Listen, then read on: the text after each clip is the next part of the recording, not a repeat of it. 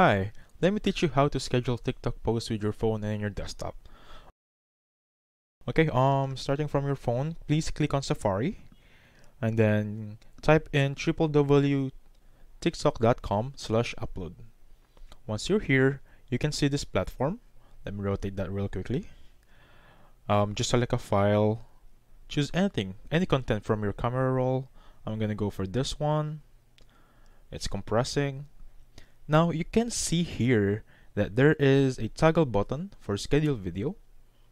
Once you toggle that, you can see a date and ex exact time that you want this post to be uploaded.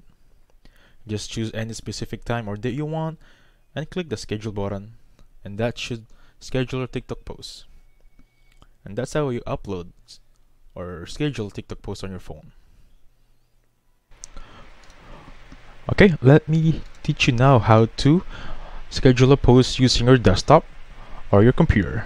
First things first, please click on www.tiktok.com slash upload. Once you're here, you're going to be landed on the same platform as the one on the phone. Just click on select files right here, choose any content you want. Once it's uploaded, you have the option right here to schedule a video. You can toggle it in and out and you can choose the specific date or time that you want your post to be scheduled. Once you dec decided on your desired time and date, just click on schedule. And that's it. That's how you upload or schedule or post on your TikTok. Thank you so much and please like and subscribe.